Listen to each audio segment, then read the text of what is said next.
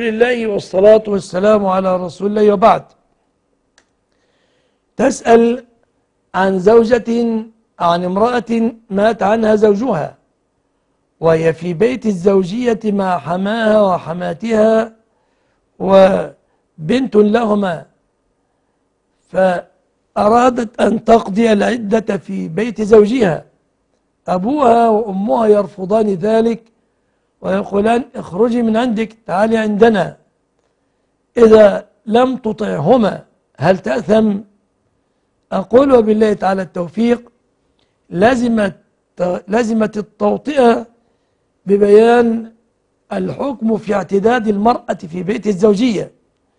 هل تلزم المرأة أن تعتد في بيت الزوجية أو لا تلزم؟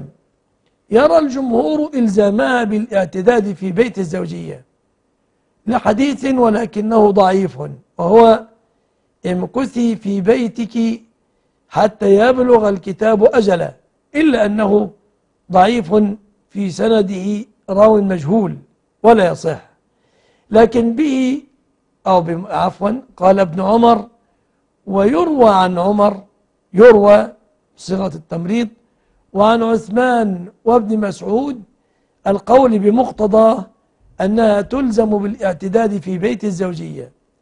أما عائشة رضي الله عنها ومعها ابن عباس وجابر ويروى عن علي أنهم قالوا بأنها تعتد حيث شاءت.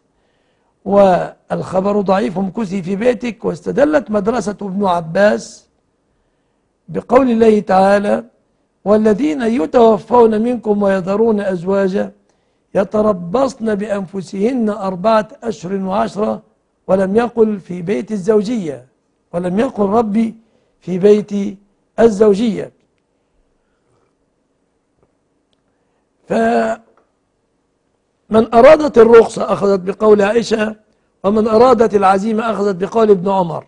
فإذا أخذت المرأة وهذه بقول ابن عمر أنها تعتد في بيت الزوجية ودعاها الوالدان للاعتداد في مكان آخر لا تكون عاقة.